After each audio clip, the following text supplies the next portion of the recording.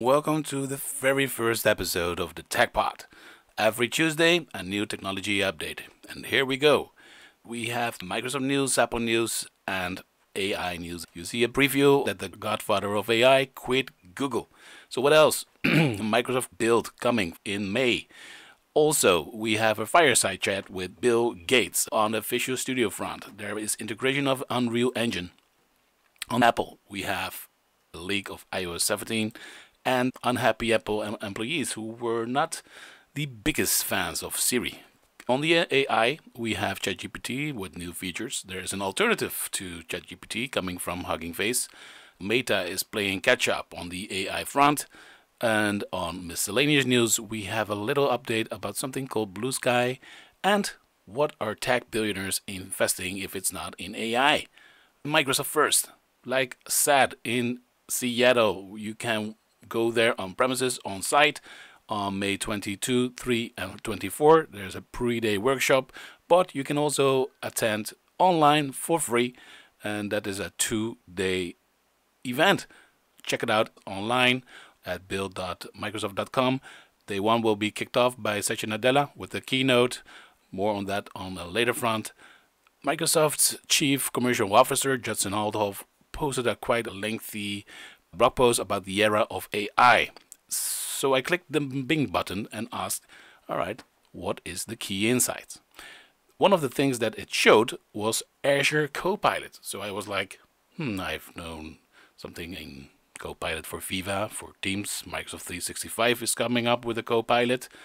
Put an Azure uh, Copilot? Not really. So tell me more about it. Well, it's search, it's search, it's found something on the web text in relation to Dynamics, but then it concluded there is no such thing as Azure Copilot. So I guess our jobs are still safe. Next, staying in the Visual Studio part, they are integrating Unreal Engine with Visual Studio. Now, you might think that Unreal Engine is purely game related, but if you check out the Unreal Engine 5.2 and the MetaHuman, they are making hyper realistic characters. So I think aside game development, the role of Unreal Engine when it comes to 3D rendering, the real world, it is amazing. So Visual Studio also in quite some depth about the GitHub Copilot. Now there's a lot of information, so again I press that Bing button in my browser to give some key points. Here they are. Pause it to read it, so you don't have to.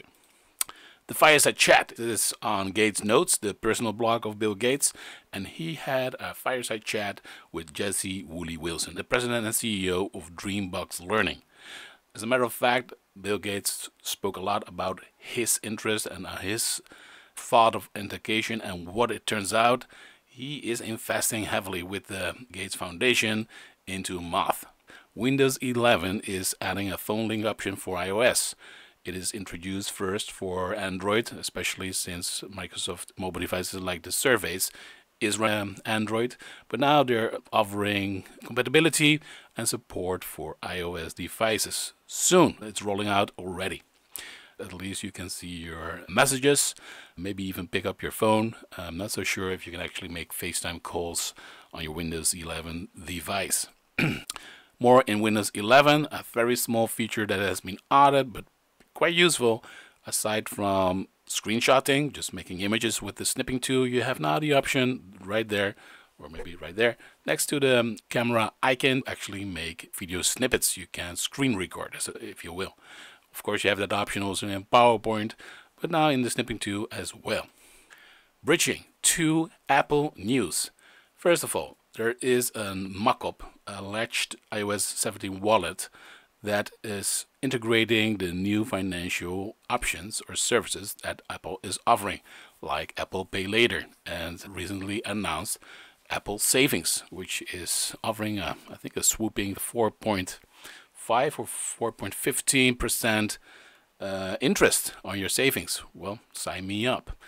Sadly, it's only in the US for starters, but uh, since uh, Apple is having billions of euros and dollars across the whole world, I wouldn't be surprised if they roll out this option worldwide soon.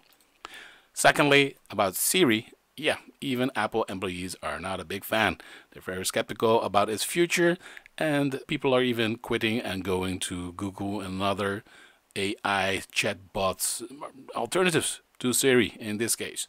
So while the hopes are high when it comes to the mobile devices like the iPhone, and when it comes to probably the AR or at least the Apple First headset, if you will, that's announced in June, we're not so sure about the role of Siri because I can relate.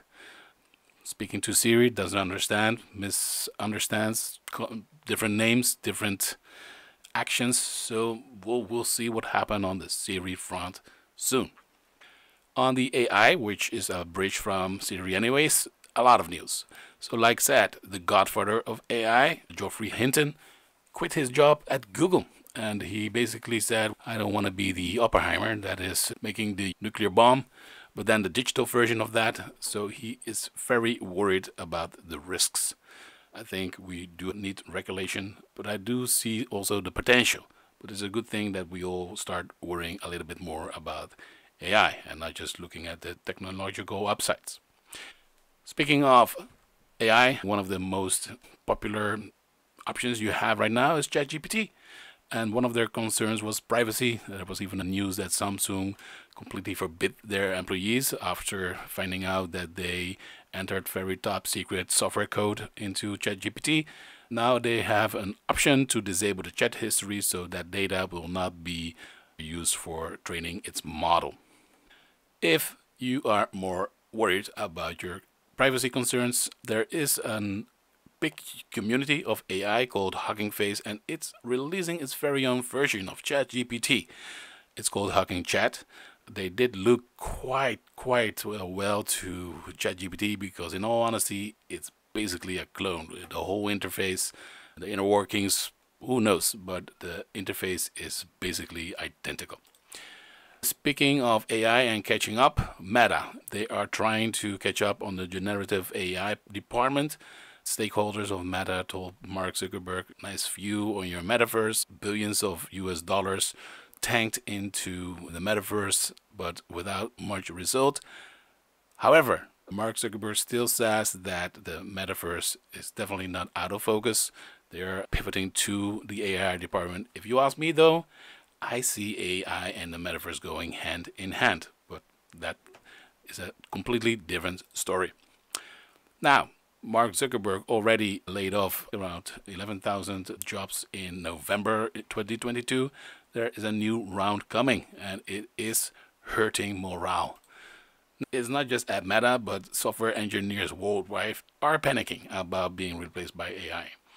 Now, there is a lot of stories and evidence that AI, like ChatGPT, is capable of generating working software code.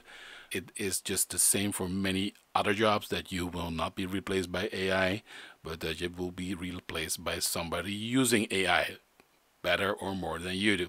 So, call to action, everybody. Start using, learning, improving on your AI skills. In the miscellaneous department, two items already said it. If the tech billionaires are not investing in AI, well, then, well, they see fusion as the holy grail for business. They basically see a limitless energy source, clean energy, with the use of fusion. Now, I don't think they are non-profits, but of course they are looking into this as an investment. However, with the climate crisis and changes coming, well, think we should welcome anything that is clean energy. And if it's limitless, why not? Lastly, speaking about alternatives not to OpenAI but to Twitter, since Elon Musk took over, a lot of has changed, a lot of rumors, a lot of issues. Jack Dorsey, the initial founder of Twitter, started Blue Sky a while ago, and it is basically a decentralized version of Twitter and sort of protocol. That was the first episode of Techpot. My name is Mike van Zandwijk. Subscribe or like and share this Techpot. So thank you for watching or listening. Share with your friends. Give some feedback. So thank you so much and see you next Tuesday.